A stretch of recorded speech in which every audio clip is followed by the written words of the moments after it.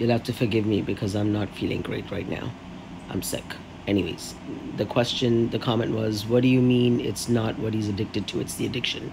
So you you responded to my video saying that what you don't like about other people is a reflection of what we have parts of ourselves that we don't like about ourselves. And your comment was that your partner is addicted to pornography. And so my response was, and so how is that a reflection of what what is parts of me?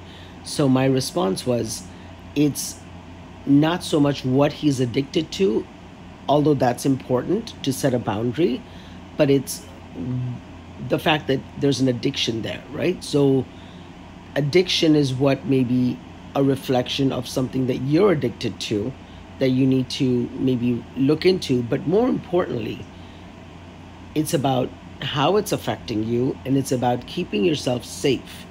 And the boundary is about keeping yourself safe. So keeping yourself safe, the boundary may look like walking away, it may look like securing securing yourself, getting support, getting help so that you are not in this toxic relationship because that's what that's what I'm picking up on. Correct me if I'm wrong.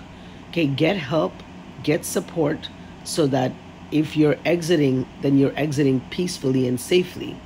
But also, if you're able to have a conversation and he's willing to get help, that's also something you can do. And maybe you know, you don't engage in with him physically, intimately until he's able to get help or until he's, you know, tested or whatever the case is. Okay, a lot of lot of um, questions I have for you because, you know, there's so many nuances in any situation.